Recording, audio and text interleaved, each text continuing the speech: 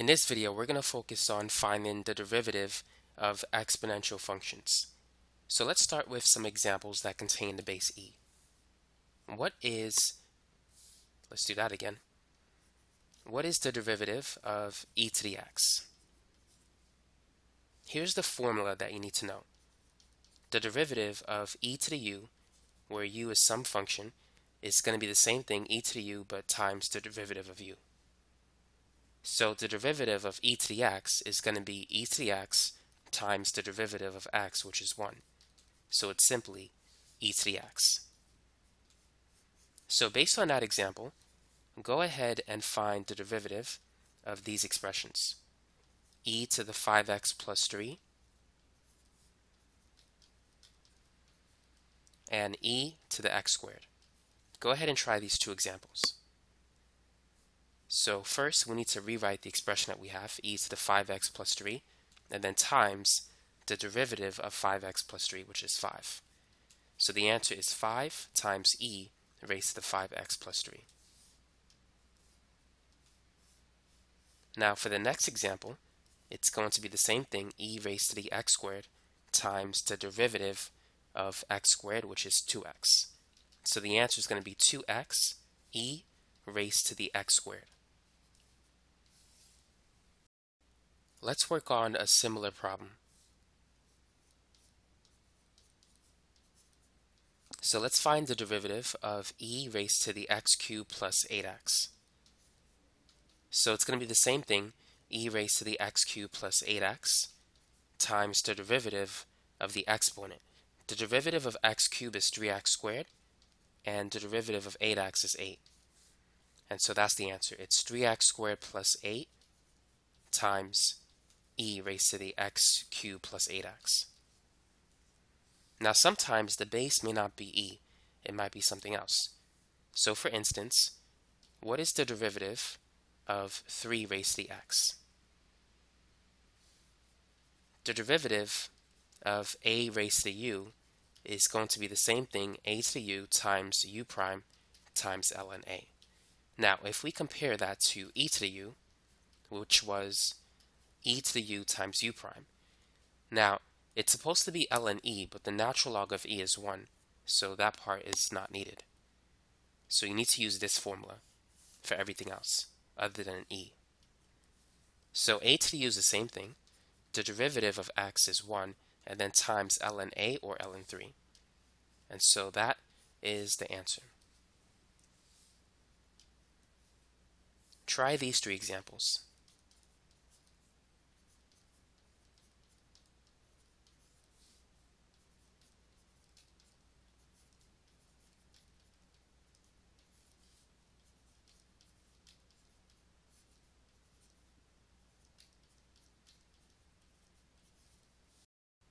Now using that formula, it's going to be a to the u, which is the same thing. So a is 7, u is 2x minus 5, and then times u prime, which is the derivative of 2x minus 5, that's 2, times ln a or ln 7. And so that's it for that example. And then in this problem, a is 9, u is x cubed. So it's a to the u times u prime. The derivative of x cubed is 3x squared and then times ln a or ln 9. And for the last one, it's going to be a to the u times the derivative of 2x minus x squared, which is 2 minus 2x, times the natural log of 5. So hopefully these examples gave you a good idea of how to differentiate exponential functions. Now let's work on a mixed review of problems. Go ahead and find the derivative of e raised to the sine x and differentiate 4 raised to the tangent x. So it's going to be e to the u, where u is sine x times u prime. The derivative of sine is cosine. So that's it for the first problem. For the second, it's going to be a to the u, where a is 4, u is tangent, times u prime.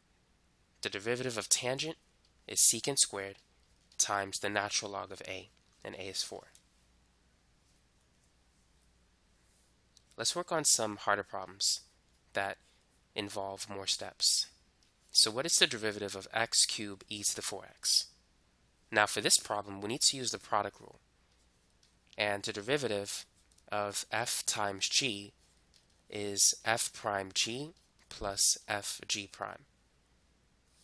So f is the first part of the function, that's x cubed, and g is the second part, e to the 4x. So f prime, the derivative of x cubed, that's going to be 3x squared, times g, which is just e to the 4x, plus f, that's x cubed, times g prime. The derivative of e to the 4x is e to the 4x times the derivative of 4x, which is 4. And so that's going to be the answer but it looks like we could simplify it. We could factor out the GCF. So we can take out e to the 4x and an x squared. So it's going to be x squared e to the 4x, and then we're going to have a 3 left over, and over here we're going to have 4x. Let's try this problem. Find the derivative of e to the x plus e to the negative x divided by e to the x minus e to the negative x. Go ahead and try that. So since we have a fraction, we need to use the quotient rule. And here's the formula. The derivative of f over g is going to be gf prime minus fg prime over g squared.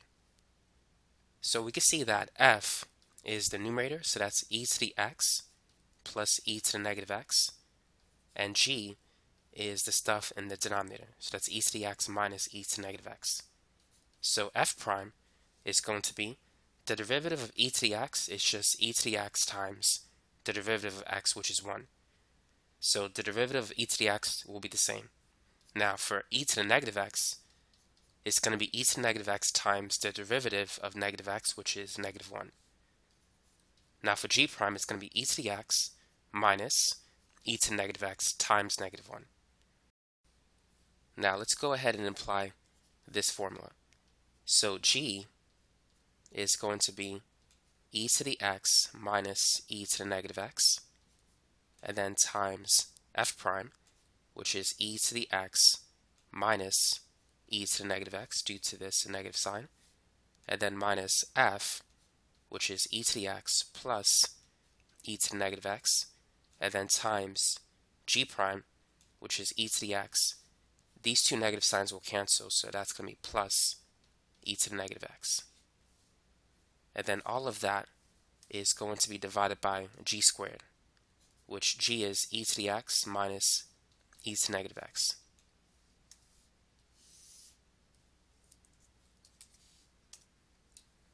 So how can we simplify this expression? So notice that these two expressions are the same. So we can write them as e to the x minus e to the negative x squared. And these two are the same. So that's going to be e to the x plus e to the negative x squared. And then it's divided by this thing here. Now, what do you think we need to do at this point? Should we stop here or should we continue? Is there a way that we could simplify this expression? Do we have to FOIL? It turns out that we could factor this expression. Notice that this is in the form of a squared minus b squared. So a is e to the x minus e to negative x, and b is e to the x plus e to negative x.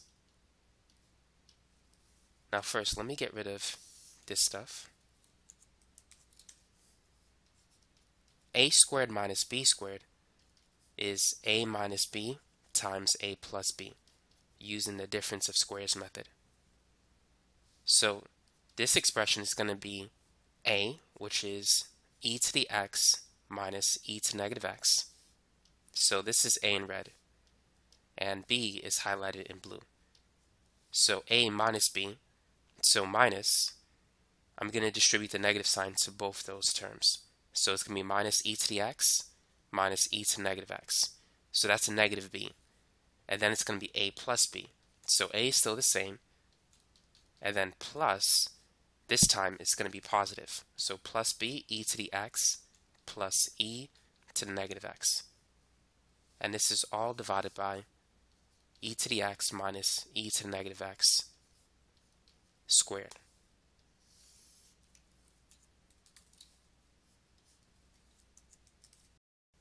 Now, notice that e to the x and negative e to the x, they add up to 0, so they cancel. And negative e to the negative x and positive e to the negative x cancels as well. So on the left side, we have negative 1 plus negative 1, which is going to be negative 2 e to the negative x. And then on the right side, 1 plus 1 is 2, so that's going to be 2 e to the positive x.